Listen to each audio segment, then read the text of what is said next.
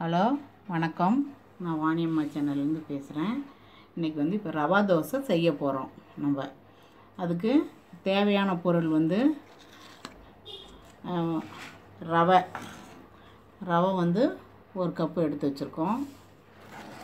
அரிசி அரிசி மாவு பச்சரிசி மாவு ரெண்டு கப்பு எடுத்து வச்சுருக்கோம். எப்பயுமே ஒரு பங்கு ரவைனா ரெண்டு பங்கு அரிசி மாவு. அப்போ தான் நம்மளுக்கு இது கரெக்டாக இருக்கும். பதம். அடுத்தது வந்து மிளகு உடச்சி வச்சுருக்கோம். ஜீரகம் எடுத்திருக்கோம். இஞ்சி பொடி பொடியாக கட் பண்ணி வச்சுருக்கோம். வந்து பச்சை மிளகாய் கட் பண்ணி வச்சுருக்கோம். கருவேப்பிலை கொத்தமல்லி நம்ம வச்சுருக்கோம். இப்போது தயிர் ஒரு கரண்டி எடுத்திருக்கோம். அதையும் இதிலேயே கலந்துக்கலாம்.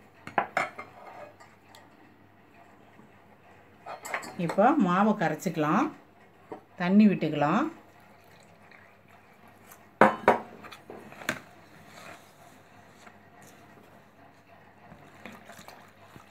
நல்லா இப்போ கலந்துக்கணும்.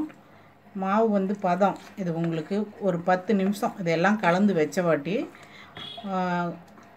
கம்மியாக உங்களுக்கு ஒரு பாஞ்சு நிமிஷம் ஊறணும். அதிகமாக ஒரு ஒரு மணி நேரம் நான் த ஊறினா தாராளமாக நல்லாயிருக்கும் செய்யறதுக்கு தோசை வந்து நல்லா சன்னமாக வரும். பதம் காட்டுறேன். இப்போ நம்ம இப்போ கலந்து வச்சுக்கலாம்.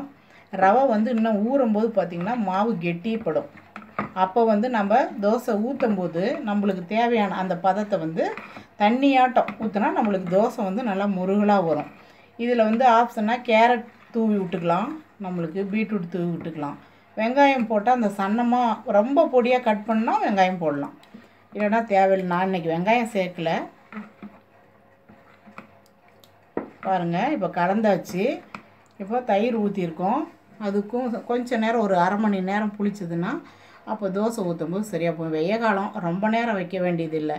அப்படின்னா நம்ம தயிர் வந்து ஊற்றும் போது கூட ஊற்றி ஒரு பத்து நிமிஷம் வச்சோமா கூட நம்மளுக்கு போதும். மாவு ரெடி ஆகிடுச்சு மாவு வந்து இப்படி தண்ணி பதத்தில் இருக்கணும். கேரட் துருவலும் கொஞ்சம் போட்டு தான் இருக்கேன். பாருங்கள் இப்படி இருக்கணும். இப்போ ஊற்றலாம்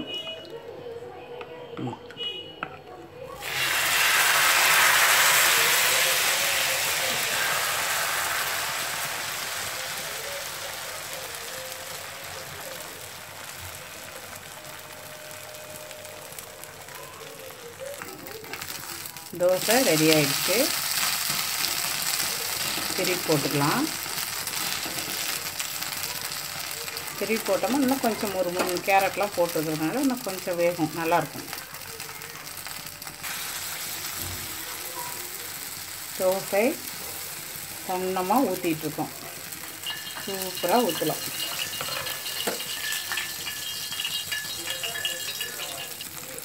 எல்லாம் மாவு தண்ணியை இந்த மாவு கட்டுக்கணும் தண்ணியை இந்த பதத்தில் இருக்கணும். அப்போ தான் உங்களுக்கு தோசை சன்னமாக மொறு மொறுன்னு வரும். மாவு பதம் மட்டும் பார்த்துக்கோங்க. இப்படி வரணும். பச்சை தண்ணியாட்டம் சூப் சூப்பராக இருக்கும். எல்லாம் செஞ்சு பார்த்துடுங்க சாப்பிடுங்க.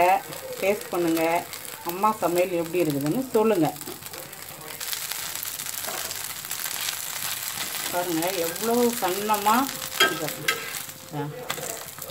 இலையாட்டம் நல்லா வரும் தோசை.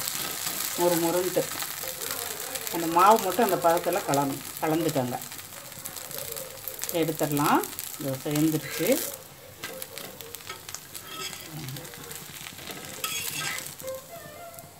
சூப்பரான சொல்லலாம் சூப்பரான ரவா தோசை தயாராகிடுச்சு தொட்டுக்கிறதுக்கு சாம்பார் சட்னி தேங்காய் சட்னி செஞ்சுருக்கோம்.